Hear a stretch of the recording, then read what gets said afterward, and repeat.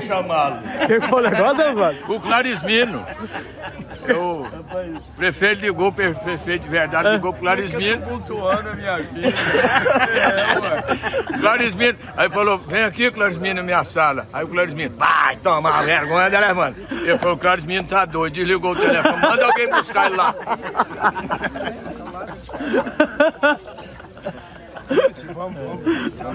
O próprio Iris gostava muito disso, né, Cristal? E é, como é que a pessoa que há tanto tempo né, imita é, é, o Iris em programas de rádio e tudo mais aí, é, é, recebeu essa notícia?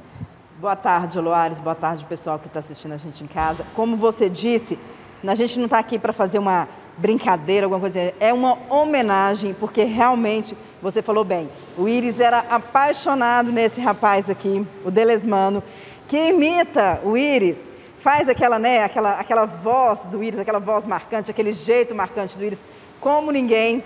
E tinha ali o aval do Iris. Era assim, ó, como eu costumo brincar, era best de Iris Rezende.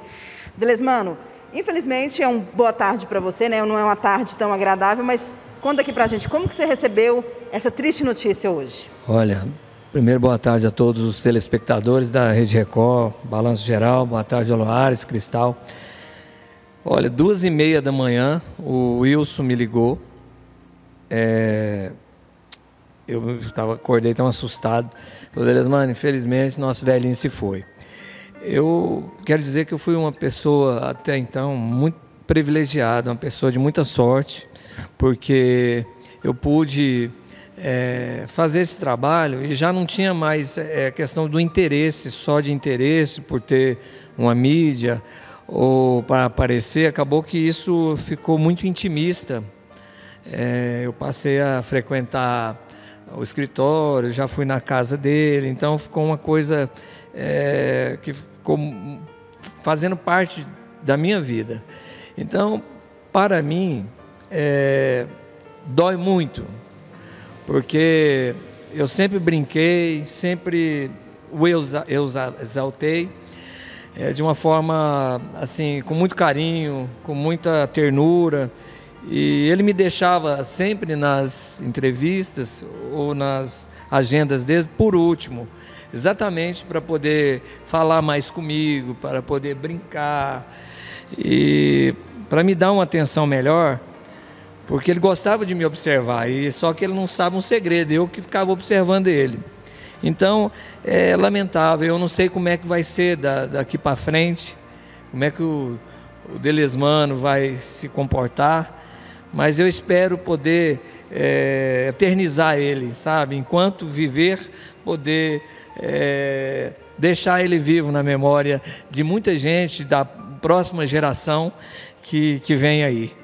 Delesmano, que você começou? Como que foi a primeira vez que você descobriu que você tinha aí esse, o timbre de voz? Que eu vou confessar aqui, ô Loares, ao vivo. O Delesmano, ele começa a falar com a voz normal dele, eu já imagino ele falando com o Íris. Tem vários outros personagens que o Delesmano faz, mas acho que o marcante é o Íris, a gente vê o Delesmano falando com a voz do Íris. Como que você descobriu, como que você percebeu que você conseguia fazer o Íris tão bem? Eu acredito que foi em 2006, 2007 eu comecei a acompanhar ele. Teve algumas campanhas políticas, inclusive eu fiz campanha até contra ele, contra ele, o político Íris, não contra a pessoa do Íris, porque a gente precisa sobreviver e a nossa área é uma área de humor, a gente precisa fazer uma anedota, fazer uma peça, uma brincadeira, uma dublagem e assim a gente desenvolve. Mas eu comecei a, a, a ouvi-lo né? Aí começava a tentar fazer. Eu apanhei muito, apanhei muito até pegar os trejeitos, foi muitos anos, até ficar mais ou menos. E aí o tempo passou, eu comecei a trabalhar melhor e aprender mais, sabe? E aí cheguei a, a, a conseguir brincar. Né? Quando você consegue brincar, desenvolver, aí você consegue chegar à perfeição.